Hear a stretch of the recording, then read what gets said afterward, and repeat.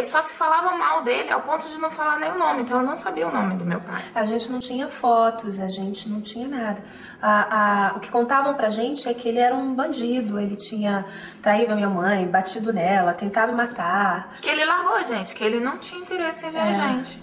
Eu me sentia muito agredido, muito humilhado por ela, pela justiça, pela família dela. Eu sentia uma angústia muito grande dessa figura, desse mito que eu não podia saber, que eu não podia ver, que de, né, nem podia falar o nome, que era meu pai. E eu queria ter uma foto, eu procurei várias vezes, assim, revesti vários papéis.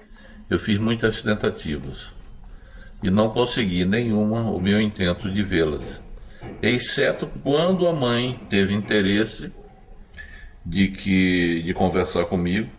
Aí chego lá, elas duas estão lá me esperando, feito um bichinho assim assustado, né? Eu lembro que eu fiquei com muita raiva quando ele apareceu.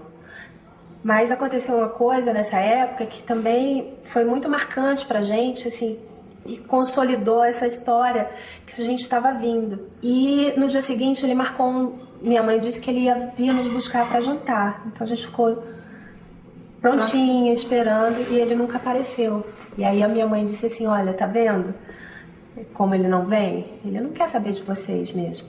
Ele já tá com outra mulher, já tem outro casamento, mora em outro lugar. Seu pai agora é esse mesmo. Só que pro meu pai, ela fez outra história. Ela combinou com ele dele nos levar na praia.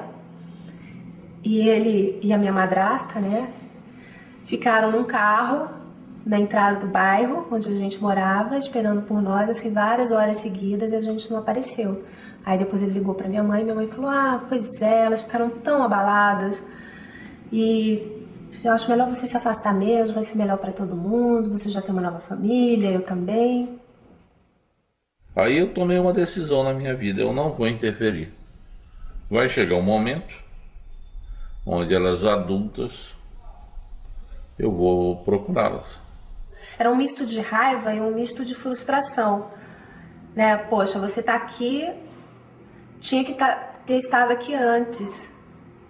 E a coisa ficou muito pior depois no dia seguinte, né? Que ele não, que ele não apareceu pra gente, mas na verdade, foi tudo uma armadilha que minha mãe plantou.